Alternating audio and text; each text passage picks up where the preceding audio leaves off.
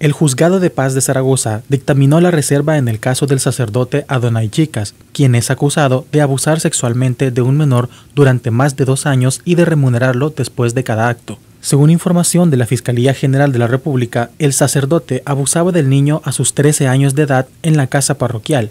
El abuso abarcaba desde roces hasta sexo oral. Mientras el juicio se llevaba a cabo, un grupo de feligreses de la parroquia afines al sacerdote Adonai Chicas se manifestaban en contra del procedimiento y protestaban en favor de la liberación del religioso. En mi niñez me vestí en la recámara del padre Adonai. Nunca ha abusado él de mí. Mis hijos han acolitado en el pueblo. Necesitamos la libertad del padre Adonai. Lo necesitamos porque yo me he vestido, yo le he vestido en la recámara del padre Adonai y nunca abusó de mí en mi inocencia, mucho menos de mis hijos que han acolitado y son varones y son hembras mis hijas.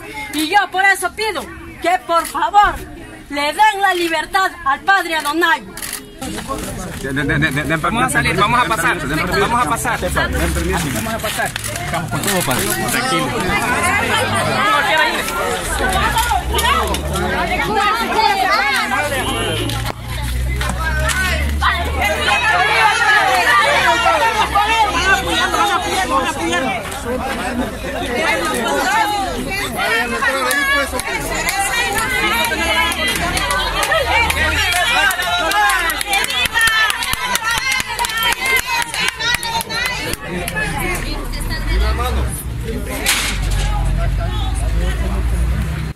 Ni la Fiscalía General de la República ni el juzgado rindieron declaraciones sobre el caso alegando la reserva total y la prisión preventiva para chicas. Únicamente voy a referir que se ha ordenado la instrucción formal con detención provisional. No voy a referir ningún otro dato, tiene reserva total el proceso. Solamente. Muchas gracias. Informó para la prensa Leonardo Esquivel.